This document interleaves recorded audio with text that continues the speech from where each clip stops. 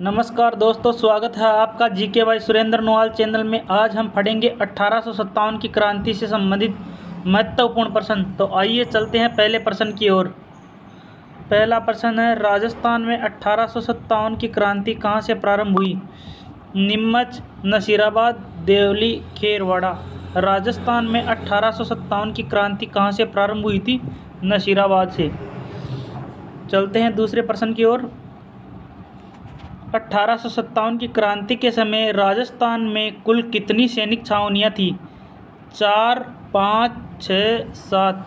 अट्ठारह की क्रांति के समय राजस्थान में छः सैनिक छावनियाँ थी। एनफील्ड राइफल्स का सबसे पहले विरोध किस छावनी में किया गया था? एनफील्ड राइफल का सबसे पहले विरोध किस छावनी में किया गया था?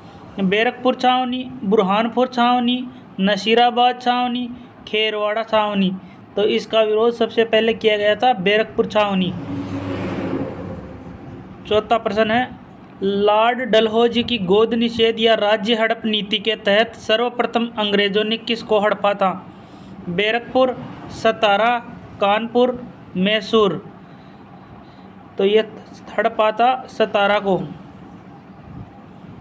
अट्ठारह की क्रांति का प्रतीक चिन्ह क्या था? कमल का फूल और चपाती, कमल का फूल और जलेबी, वंदे मातरम या इनमें से कोई नहीं। तो अट्ठारह की क्रांति का प्रतीक चिन्ह था कमल का फूल और चपाती। क्रांति के समय भारत का गवर्नर जनरल कौन था? क्रांति के समय भारत का गवर्नर जनरल कौन था? पैट्रिक लॉरेंस, लॉर्ड कैनिंग, महारानी एलिजाबेथ, मंगल पांडे। तो भारत का गवर्नर जनरल था लॉर्ड कैनिंग। क्रांति के समय अंग्रेज़ों का ग्रीष्मकालीन मुख्यालय था माउंट आबू, अजमेर, जयपुर, उदयपुर। तो ग्रीष्मकालीन मुख्यालय था माउंट आबू सिरोही। क्रांति के दो विजय स्तंभ कहाँ स्थित है? पाली कोटा, अजमेर, उदयपुर। तो ये दो विजय स्तंभ थे आहुआ पाली में। आहुआ। आहुआ। राजस्थान की कौन सी दो छावनियों में क्रांति नहीं हुई थी? ब्यावर और खेरवाड़ा, नसीराबाद और ब्यावर ब्यावर और निम्मच, देवली और ब्यावर। तो दो सैनिक छावनियाँ थी जिनमें क्रांति नहीं हुई थी। वो थी ब्यावर और खेरवाड़ा, ब्यावर अजमेर और खेरवाड़ा उदयपुर। अंग्रेज़ों के साथ सहायक संधि करने वाली राजस्थान की प्रथम रियासत कौन सी थी? अलवर, भरतपुर, उदयपुर, कोटा। तो सहायक संधि सबसे पहले की थी भरतपुर रियासत ने। विस्तृत सहायक संधि करने वाली प्रथम रियासत कौन सी थी? भरतपुर, अलवर, सवाईमाधोपुर, जोधपुर तो विस्तृत सहायक संधि करने वाली प्रथम रियासत थी अलवर रियासत। अलवर। राजस्थान की सबसे बड़ी और सबसे शक्तिशाली छावनी थी। राजस्थान की सबसे बड़ी और सबसे शक्तिशाली छावनी थी निम्मच छावनी, नसीराबाद छावनी, खेरवाड़ा छावनी या एरिनपुरा छावनी। तो सबसे शक्तिशाली सैनिक छावनी थी नसीराबाद छावनी अजमेर वाली। नसीराबाद छावनी की स्थापना कब हुई थी? 1832, 1834, 1809, 1818 तो नसीराबाद छावनी की स्थापना 1818 में हुई थी। राजस्थान की एकमात्र छावनी जो राजस्थान से बाहर थी एकमात्र छावनी जो राजस्थान से बाहर थी निम्मच कोटा खेरवाड़ा, ब्यावर निम्मत छावनी थी जो बाहर थी, मध्य प्रदेश में थी एमपी में। राजस्थान का प्रथम शासक जिसने सर्वप्रथम अंग्रेज़ों का साथ दिया था। राजस्थान का प्रथम शासक जिसने सर्वप्रथम अंग्रेज़ों का साथ दिया था, सरदार सिंह स्वरूप सिंह, मदन सिंह, राम सिंह तो यह था स्वरूप सिंह, उदयपुर का। बीकानेर का एकमात्र शासक, जिसने अंग्रेज़ों की सहायता के लिए अपनी सेना रियासत से बाहर ले गया। बीकानेर का एकमात्र शासक, जिसने अंग्रेज़ों की सहायता के लिए अपनी सेना रियासत से बाहर ले गया, सरदार सिंह, स्वरूप सिंह, मान सिंह, मदन सिंह। तो ये था बीकानेर का सरदार सिंह। राजस्थ एकमात्र शासक जिसने अठारह सौ सत्तावन की क्रांति में अंग्रेज़ों का सहयोग नहीं दिया। एकमात्र शासक जिसने अठारह सौ सत्तावन की क्रांति में अंग्रेज़ों का सहयोग नहीं दिया, राम सिंह, जगत सिंह, स्वरूप सिंह, सरदार सिंह। राम सिंह, जगत सिंह, सरदार सिंह, स्वरूप सिंह। तो ये था राम सिंह। राम सिंह। अठारह की क्रांति के समय जयपुर का पॉलिटिकल एजेंट कौन था? Major Eden, McMason, Morrison, Burton. तो अठारह की क्रांति के समय जयपुर का पॉलिटिकल एजेंट था मेजर इडन। ऐसी कौन सी रियासत थी जिसके राजा और जनता दोनों ने अंग्रेज़ों का सहयोग किया था? राजस्थान की ऐसी कौन सी रियासत थी जिसके राजा और जनता दोनों ने अंग्रेज़ों का सहयोग किया था? कोटा, अजमेर, जयपुर, मेवाड़। कोटा, अजमेर, जयपुर, मेवाड़ तो वो थी जयपुर रियासत। अट्ठारह की क्रांति का समाधि स्थल है।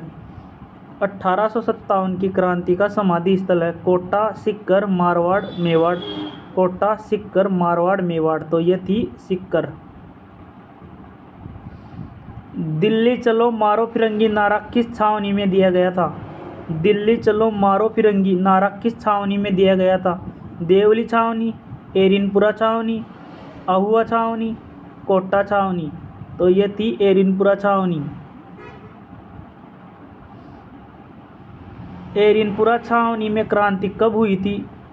सात जून अट्ठारह सौ सत्तावन, इक्कीस अगस्त अट्ठारह सौ सत्तावन अट्ठाईस मई अट्ठारह सौ सत्तावन, इकतीस मई अट्ठारह सौ सत्तावन।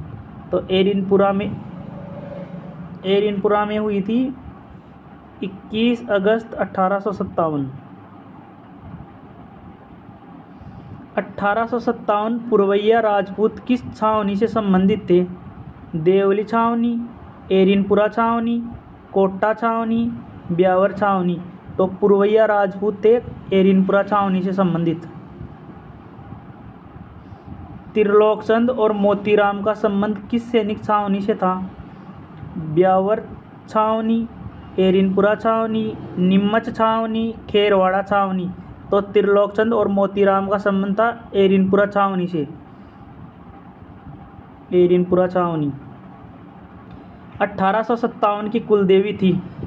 सुगाली माता जीर्ण माता, करणी माता, आई माता।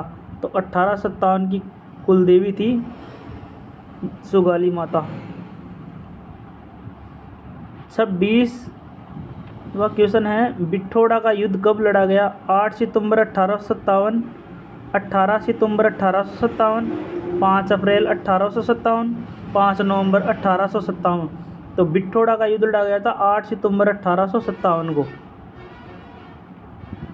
सूर्यमल मिश्रण ने किस युद्ध को गोरों और कालों का युद्ध कहा है?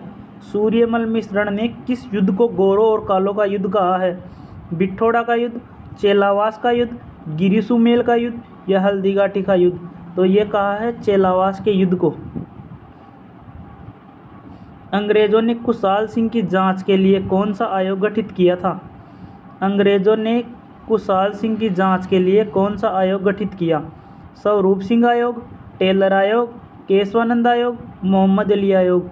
तो ये था टेलर आयोग।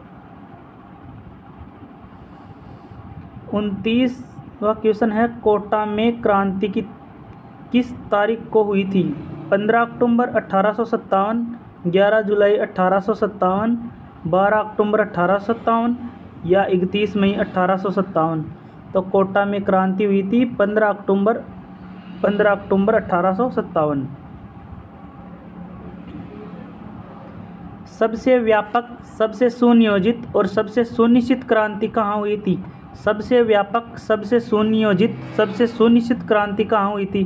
कोटा, मेवाड़, ब्यावर या नशीराबाद कोटा, मेवाड़, ब्यावर नशीराबाद तो यह हुई थी कोटा में। तात्या टोपे का वास्तविक नाम था।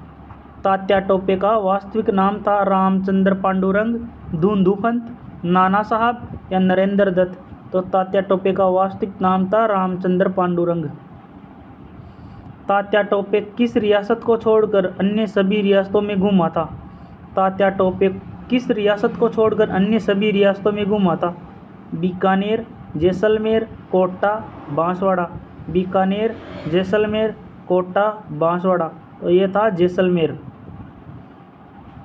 झालावाड़ के किस शासक को बंदी बनाकर कुछ समय तक तात्या टोपे ने शासन किया था? झालावाड़ के किस शासक को बंदी बनाकर कुछ समय तक तात्या टोपे ने शासन किया था? पृथ्वी सिंह, बिशन सिंह, सामंत सिंह या हरिंदर सिंह? तो ये था पृथ्वी सिंह।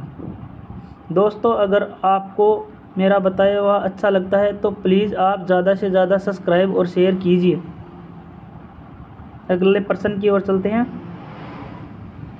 बीकानेर के किस शासक ने तात्या टोपे को दस घुड़सवारों की मदद की थी? बीकानेर के किस शासक ने तात्या टोपे को दस घुड़सवारों की मदद की थी? गंगा सिंह, डोंगर सिंह, सरदार सिंह, शार्दुल सिंह। गंगा सिंह, डोंगर सिंह, सरदार सिंह, शार्दुल सिंह। तो ये था सरदार सिंह। तात्या टोपे की छतरी किस ज़िले में स्थित है? तात्या टोपे की छतरी किस ज़िले में स्थित है? जयपुर, सिक्कर, बांसवाड़ा, भीलवाड़ा। जयपुर, सिक्कर, बांसवाड़ा, भीलवाड़ा। तो ताता टोपे की छतरी है सिक्कर में। राजस्थान का सबसे कम उम्र का शहीद कौन था? राजस्थान का सबसे कम उम्र का शहीद कौन था? तात्या टोपे, ताराचंद पटेल, हेमू कालानी या बख्तावर सिंह? तात्या टोपे, ताराचंद पटेल, हेमू कालानी या बख्तावर सिंह? तो ये था सबसे कम उम्र का शहीद हेमू कालानी अट्ठारह की क्रांति की समाप्ति राजस्थान में कहाँ से हुई थी? अट्ठारह की क्रांति की समाप्ति राजस्थान में कहाँ से हुई थी? कोटा, सिक्कर, जयपुर, उदयपुर। कोटा, सिक्कर, जयपुर, उदयपुर। तो यह हुई थी सिक्कर से। कोटा में क्रांति का नेतृत्व किया था। कोटा में क्रांति का नेतृत्व किसने किया? मंगल पांडे, शिव सिंह, शिवनाथ, जयदयाल और मेराब खान।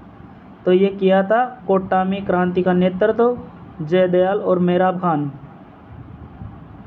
बिठोड़ा का युद्ध कहाँ लड़ा गया था? सिरोही, टोंक, अजमेर, पाली। बिठोड़ा का युद्ध कहाँ लड़ा गया था? सिरोही, टोंक, अजमेर, पाली। तो ये लड़ा गया था आहुआ पाली में।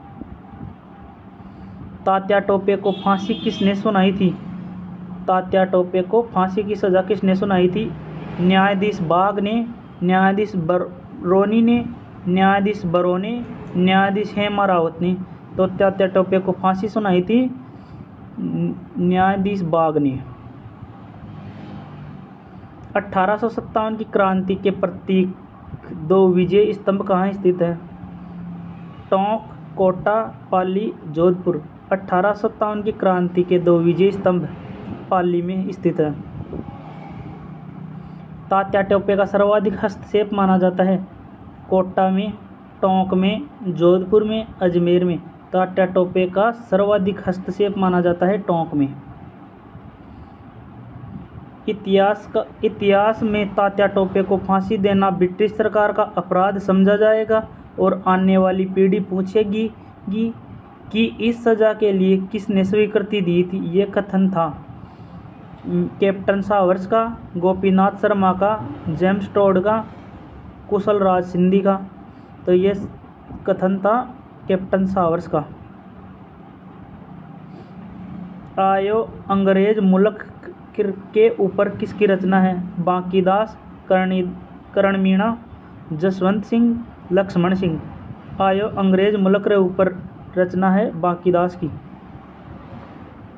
बाकीदास की। अट्ठारह की क्रांति में कहाँ के क्रांतिकारियों ने मेक मोशन का सिर काटकर वहाँ के किले पर लटका दिया था? अट्ठारह की क्रांति में कहाँ के क्रांतिकारियों ने मेक मोशन का सिर काटकर वहाँ के किले पर लटका दिया था? कोटा, आहुआ, बूंदी, जयपुर। तो ये आहुआ के किले पर लटका दिया गया था। आहुआ पाली वाले की। अट्ठारह की क्रांति के समय राजस्थान का एजीजी कौन था? Agent governor, agent to governor general. George Patrick Lawrence, major Burton, Mac Mason, James Tod. तो अट्ठारह की क्रांति के समय राजस्थान के एजीजी जॉर्ज पैट्रिक लॉरेंस थे। राजस्थान का दूसरा स्थान जहाँ क्रांति की शुरुआत हुई थी। नसीराबाद नीमच ब्यावर, एरिनपुरा। राजस्थान का दूसरा स्थान जहाँ क्रांति की शुरुआत हुई थी। नसीराबाद नीमच ब्यावर, एरिनपुरा। तो ये था नीमच जोधपुर के किस महाराजा ने अंग्रेज़ों का साथ देते हुए विद्रोहियों से युद्ध किया था? जोधपुर के किस महाराजा ने अंग्रेज़ों का साथ देते हुए विद्रोहियों से युद्ध किया था? महाराजा मान सिंह, महाराजा भीम सिंह, महाराजा तख्त सिंह, महाराजा बन्ने सिंह। तो ये थे महाराजा तख्त सिंह। अठारह के स्वतंत्रता संग्राम में कोटा के महाराव की सहायता के लिए किस राज्य ने राज्य ने सैनिक सहायता भेजी थी? करौली, झालावाड़, कोटा, बूंदी। तो ये थी करौली। अठारह का स्वतंत्रता संग्राम देसी राजाओं द्वारा किसके नेतृत्व में लड़ा गया था? मुगल बादशाह बहादुर शाह ज़फ़र फरुखशियर झांसी की रानी तात्या टोपे। अठारह सौ सत्तावन का स्वतंत्रता संग्राम देसी राजाओं द्वारा किसके नेतृत्व में लड़ा गया था? ये लड़ा गया था मुगल बादशाह बहादुर शाह ज़फ़र के नेतृत्व में। ओके दोस्तों एक प्रश्न आपको पूछता हूँ। राजस्थान का मंगल पांडे किसे कहा जाता है? ये प्रश्न आप कमेंट में इसका उत्तर दीजिए। धन्यवाद।